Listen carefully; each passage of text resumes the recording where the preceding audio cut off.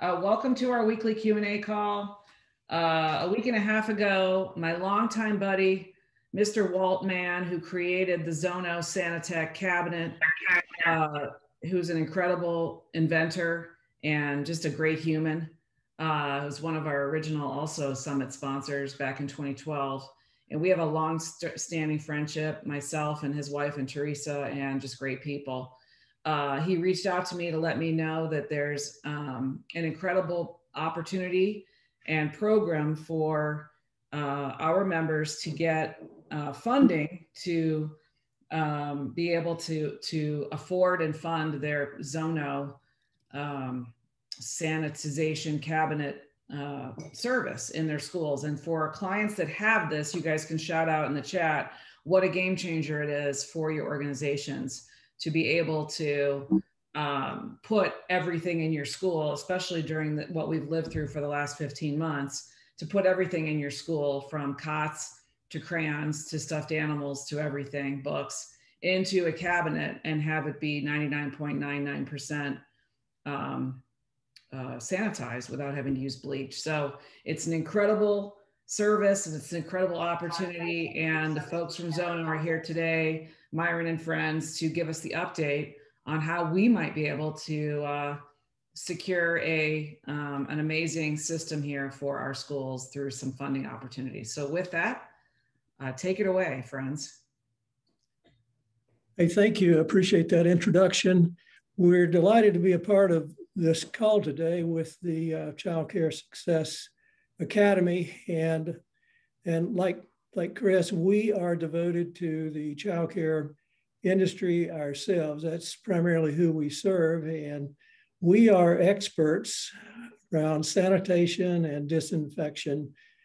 And we do a lot of research about things that affect you and, and, and your business model.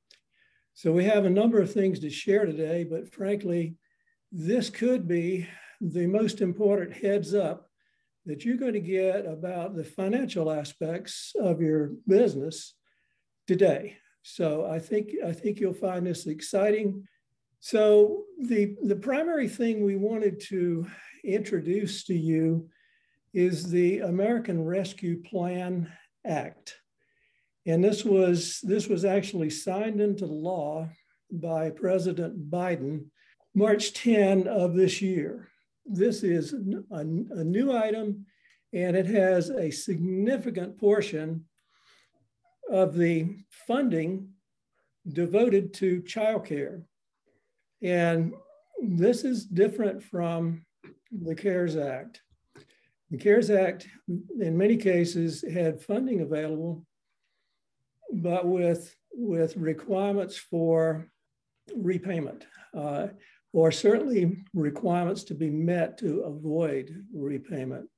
The difference with an important distinction with the American Rescue Plan Act for childcare is we're talking about grants. And we're talking about this being available to, to you for a nonprofit and a for-profit business. So it's, it's about COVID and about helping you and many of your colleagues get back on your feet as a as a business enterprise. And let's face it, the probably the toughest industry that was affected by the the COVID-19 was childcare. And actually, childcare is a linchpin for the the prosperity of, of our economy. So I actually think this this bill is, uh, is a really important item to help us for our financial vitality. And frankly, for a lot of you, uh, for your business, for your prosperity uh, as, we, as we move forward. So the American Rescue Plan for childcare consists of two things that are really important. So let's just go over those. The, the first one is $15 billion that will be available for block grants, okay? And then $24 billion for the uh, stabilization of our businesses for child cares. So these are two different separate things of funding. It's important to note that, you know, this is being devoted to states, to the territories, and to tribes, but it is not going to uh, support Head Start. Okay, so this is for you. So the the fifteen billion dollars you can you can apply through your state for funds that will do things to help you boost enrollment for your child care facility.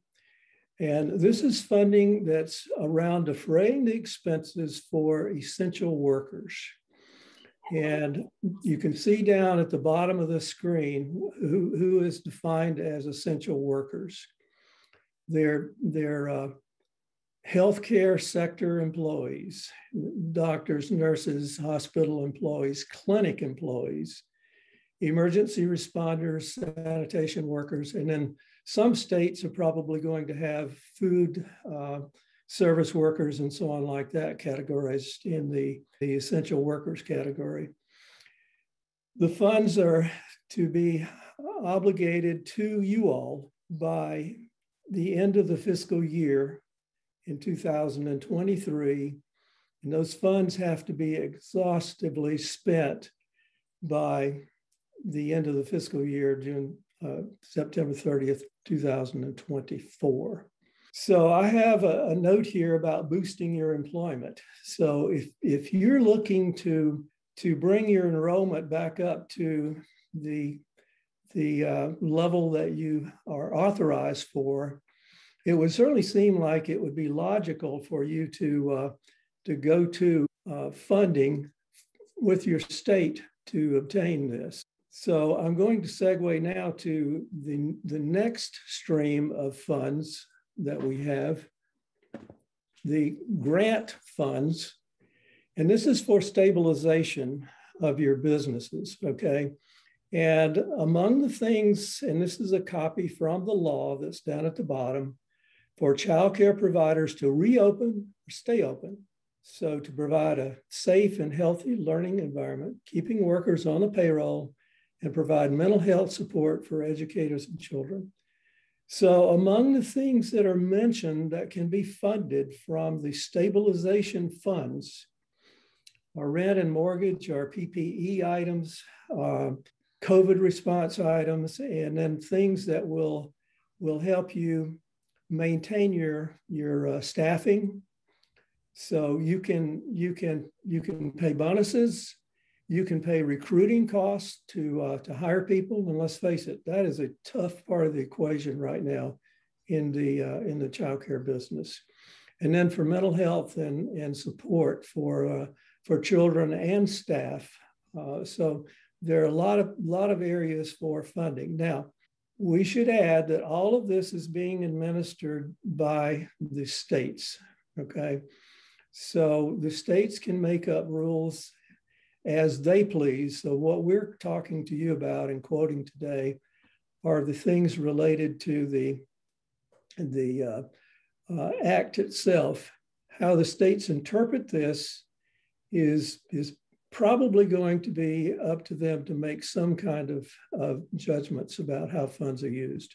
So, just to give you a feel for the amount of funding that we're talking about, we just copied down the first eight or nine states, and we show for the block grant money, which is the money for the uh, essential workers, and this is to defray the expenses or partial expenses the states will make the determination of how much of that is, is going to be partially or wholly funded for, uh, for essential workers.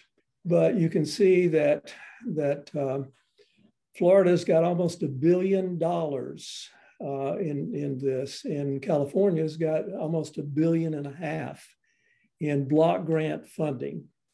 Okay for stabilization grants, and this is what we're talking about with respect to salaries, rent, mortgage, uh, insurance, upkeep for your facility, for sanitization uh, mechanisms like a, like a Zono, for example. We're talking about for California, $2.3 billion dollars of, uh, of funding. So for all the states, there's, there's quite a lot of money. Um, and you'll see the, the uh, QR code.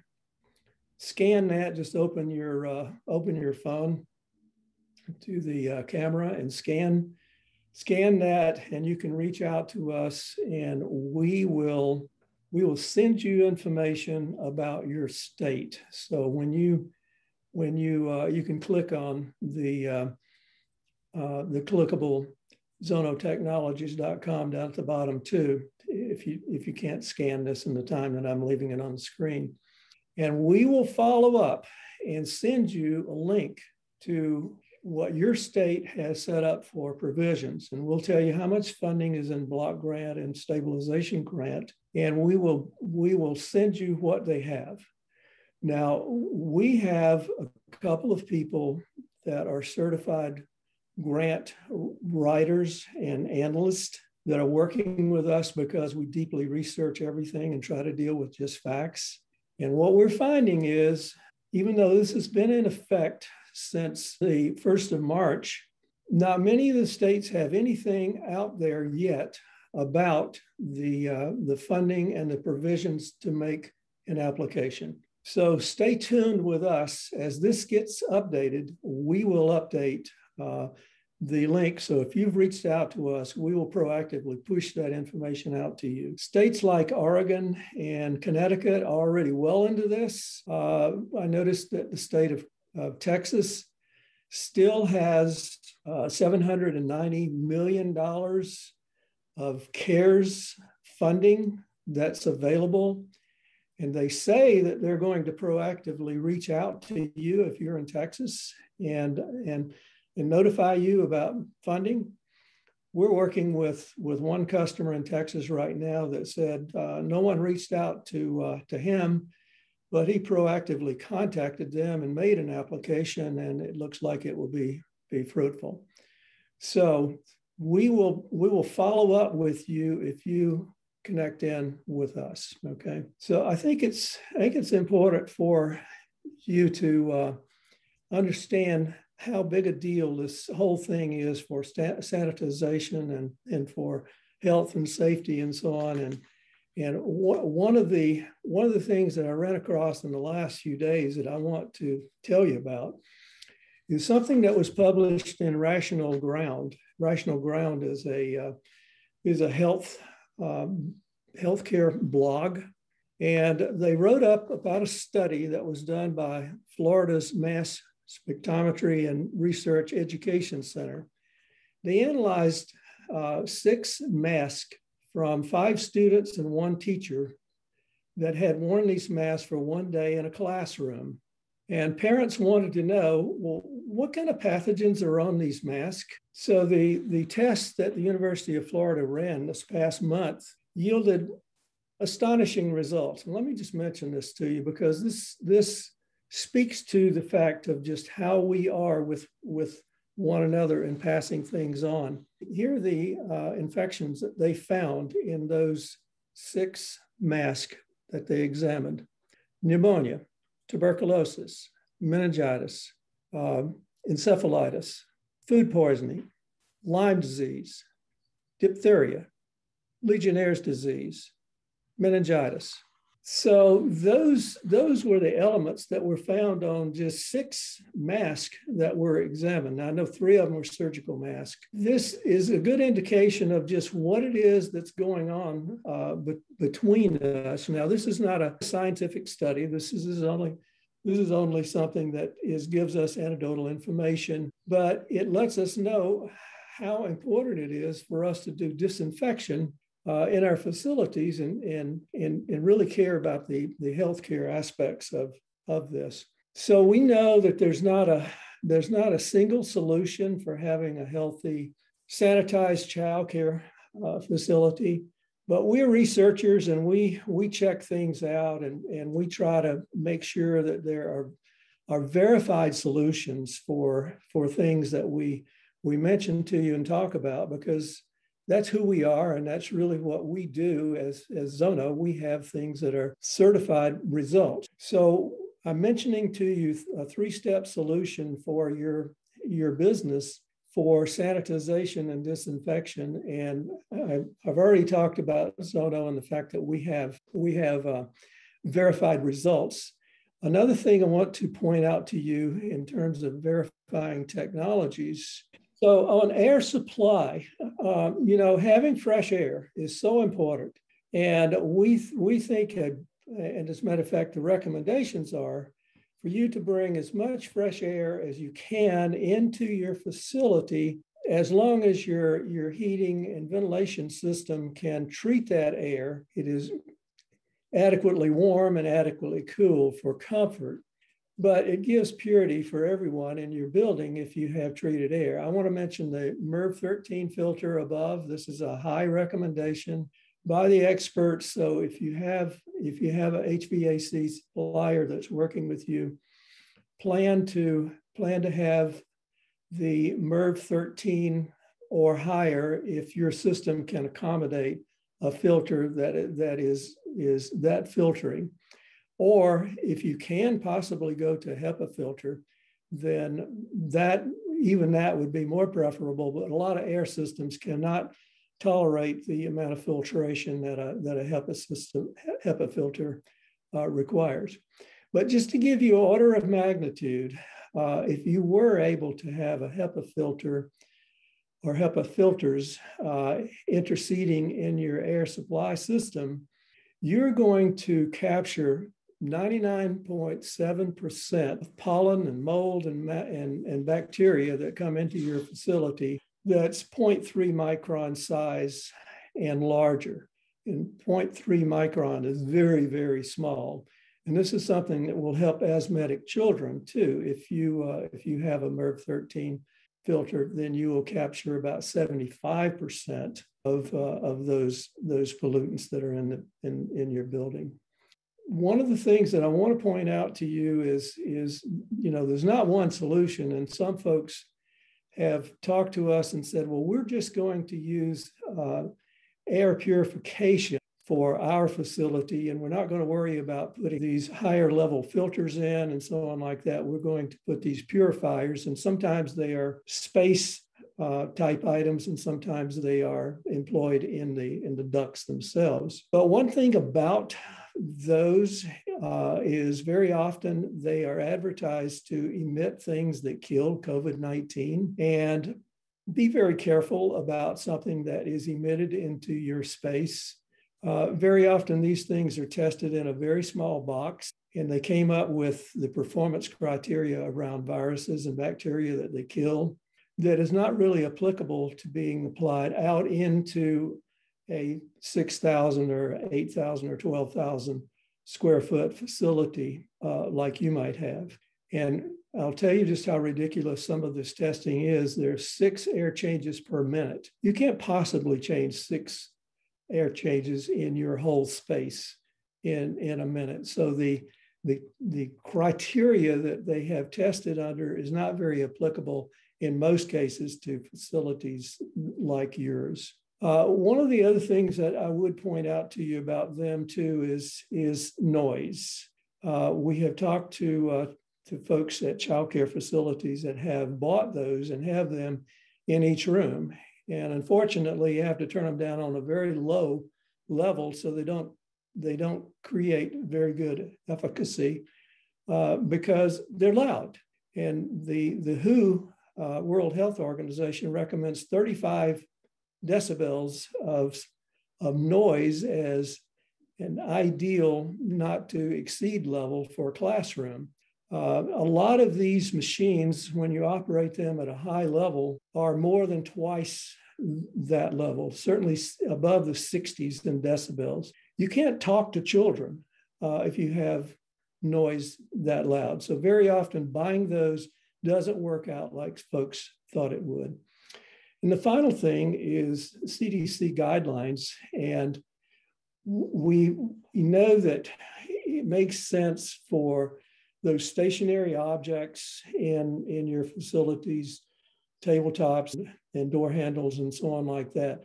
Those things have to be wiped down to be disinfected. And you know, air supply is not going to do a whole lot with that. Zono's not going to do a whole lot with that. You need to you need to do that with with list N. EPA has list N chemicals and list N wipes to wipe down those surfaces. One other solution that I would I would give you a little bit of caution about is the chemical foggers only six of those chemicals on list N, there are 560 chemicals listed on list N, only six of those are approved to be sprayed or fogged. One of the things that we point out is you can't, you can't do this with children in the room and you have to allow a certain period of time for aerosol spray to dissipate before children are permitted into the room. And then the gap between when you fog uh, there are things going on. You're teaching, children are playing. Those things need to be dealt with, and they get contaminated over the duration between gaps of of doing fogging. So those are the those are the three things that we think that are are verified technologies that you ought to consider using. Great. So yeah, the to sum up the um, American Rescue Plan, there's different block grants coming through the states right now. Somebody from Texas shared information about what she and her process is. Um, and every state obviously is different, but you can scan the QR code there or go to the link provided and find out more. And then work with uh, these fine folks at Zono Technologies to get um, information and access for having funding to get your very own Zono cabinet, combining it with the other um, air filters that um, Marvin presented and making it a great solution for your center going forward. And I thought that was very inf interesting information about the uh, what was on the masks in that study uh, as well. And I think the link to the study was is provided in the slides as well. So thank you so much for this very valuable information for all we can do to help parents and children and teachers feel more confident and keep uh, healthy and safe in our schools and in our centers. Thrilled that you guys reached out and let us know about this so we can let everybody in the industry know. And we're just so excited. Thank you so much for a great partnership. Thank you. And we'll see you at the summit.